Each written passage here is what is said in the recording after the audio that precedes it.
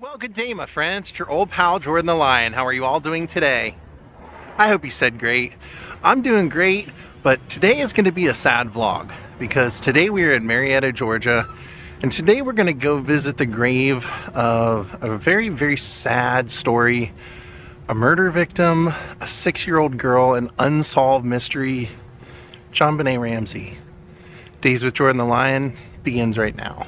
She was actually born here, but I believe at a year old, her father's business caused them to relocate out to Boulder.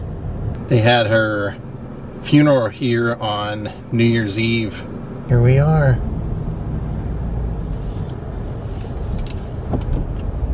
Kind of an old style cemetery. Not what you would think a six-year-old would be buried in. For the life of me, I don't know how anybody could ever take the life of a child so right in the very back of the cemetery, there's one solemn tree over here with no leaves or anything, really no branches even right now. In front is JonBenét's mother, Patty Ramsey, Patsy Ramsey, I mean, Patricia Ramsey. She would go by Patsy. Grace, love, and faithfulness through all. She actually found the ransom note. And behind her is her poor daughter, JonBenét Ramsey. They were very close. Um, Patsy was a former beauty queen. She had been former Miss West Virginia. And she had her daughter, JonBenét. She was also in pageants from a young age. So that was something she enjoyed doing. She enjoyed performing. There you can see it says love, purity, and joy. A gift to her family and the world. Home in the peace of God. So what happened was, you'll notice on here that it says she passed away on December 25th, 1996. It's not exactly true. It was actually it was actually on December 26th, but her parents decided to have the 25th to kind of remember or to kind of remind people of what evil happened at Christmas time to them and to their daughter on that Christmas night. So what happened basically was that the family was very well to do. They had their own plane and on Christmas they were spending time with friends um, in the area in Boulder. And it was like a kind of a dinner gathering. And at the end of the night, they went home and they were to wake up the next morning and take their private plane via pilot to Michigan to spend the day after Christmas with JonBenét's father's uh, first family. He had three kids before he was married to Patsy then we're gonna go spend time with them. So the family woke up early and Patsy said that they always would get up and get everything ready before they woke up the kids. JonBenét and her brother. And um, said she got up and was going up the back staircase and found a note on one of the steps. And she said it was very dark, so she went and looked at it in the light and it was a ransom note asking or demanding $118,000 or they were going to behead her daughter and uh, warned the family to not. It was actually made out to John Ramsey, Mr. Ramsey, and it said to not contact the FBI or police or anyone or they would take action and that they would be calling between 8 and 10 with further instructions. As you can imagine, any family or any parents would freak out at this and they immediately called 911. They immediately, Patsy called and reported that JonBenét had been taken. There was a ransom letter. And so the police came out and they didn't know what happened. They had ran up into her room. They had looked, she wasn't in bed. So she was gone the police came over and told the family they should check every inch of the house for some sort of clue or evidence or anything that looked like it would be out of the ordinary. And when Mr. Ramsey went downstairs, he opened a door in the basement and found JonBenét's body laying down there covered by a blanket. She had had her mouth duct taped, her hands were bound, and um, sadly they found out that there was blood on her underwear even though her clothes were on. So really bizarre. And when the police came, they thought it was bizarre too. They thought the ransom note seemed strange, asking for $118,000. It just seemed like an odd amount. They also said that it, they never really encountered usually a ransom for children, something like this. And, um, and they just seemed a little bit like it didn't make much sense. So they wanted to question John and Patsy down at the police station. And apparently John and Patsy refused. They said they would talk and tell, um, give any answers to any questions at their house, but they, they could already sense that the police just seemed like they were not handling this properly and so they just didn't trust them. So they never would go down and do that. I'm sure what was going on was that the police wanted to interrogate them in a room with a camera on and you know go through that whole process and they didn't want to do it. So they got lawyers individually and once the once the autopsy was done they found that some of the evidence pointed to what they thought could be something done in the home by John and Patsy.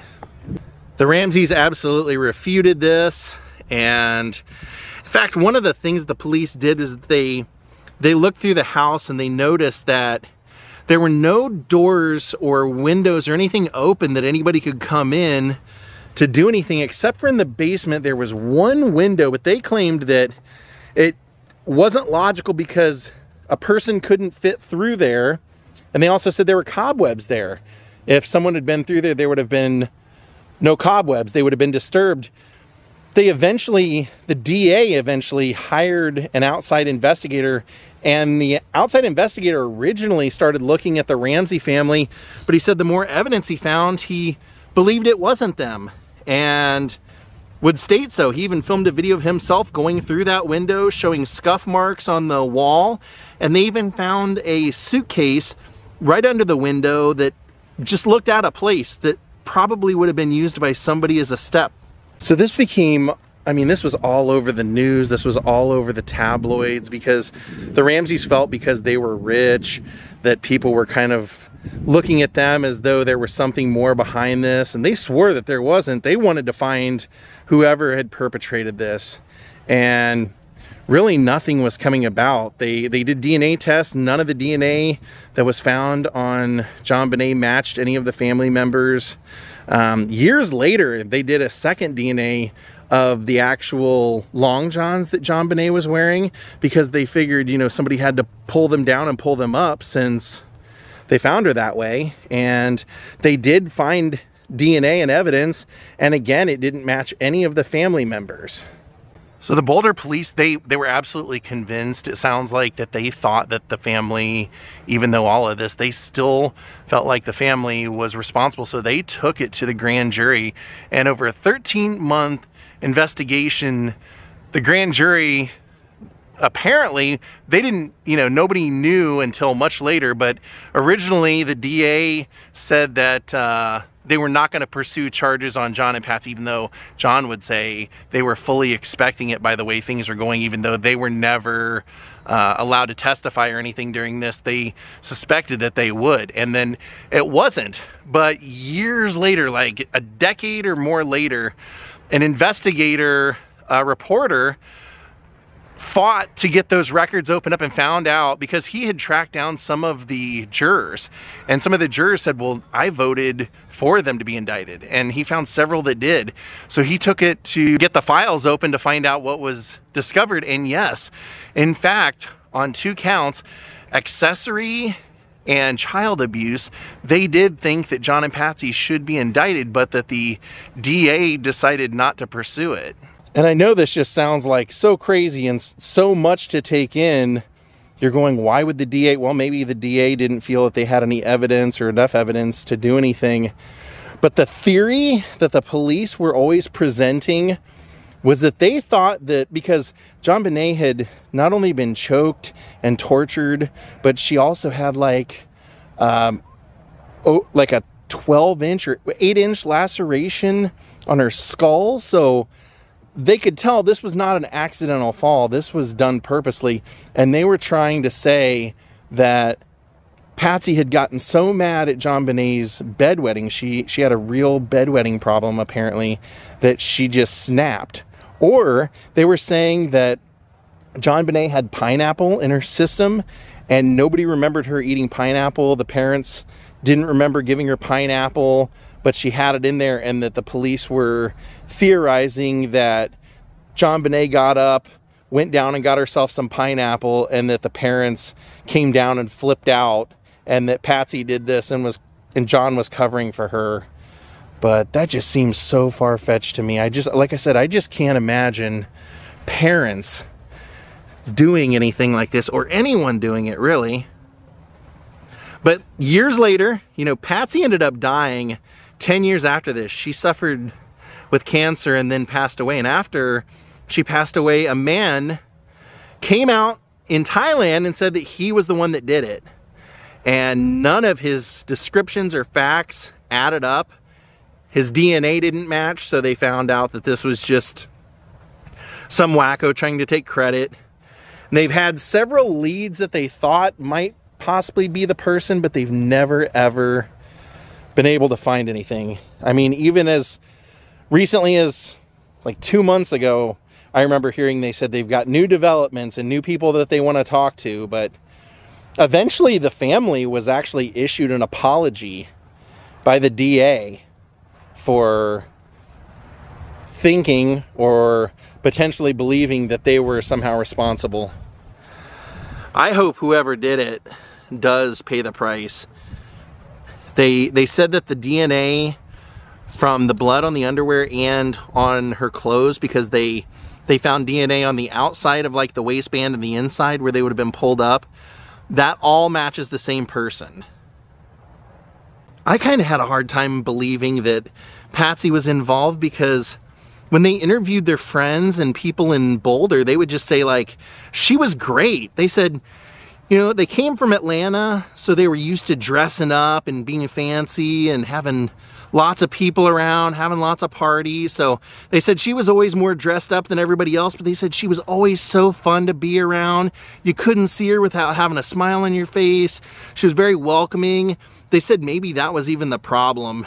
John would say later, you know, he said, we used to open our doors to people.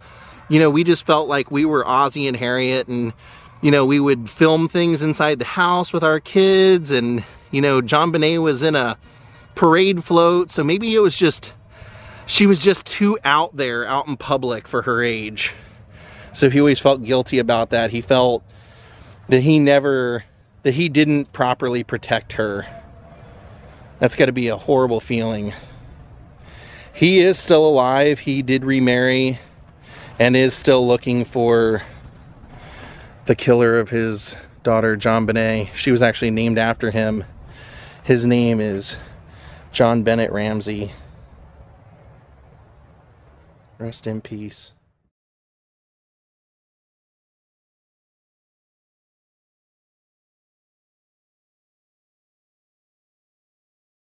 Thank you all for watching. I hope that kind of gave you a summary as to, you know, that whole story. It's such a sad story. And, you know, one thing I forgot to mention, one of the reasons the police also thought that family might be involved is because John and Patsy both used to keep a notepad next to the phone to take notes, uh, separate for each one and hers was missing pages and it looked like a practice note had been written and her painting utensil was used as one of the torture devices, so I just don't believe it personally, but um, post your comments below as to, you know, what you think happened or, you know, will we ever find an answer to this?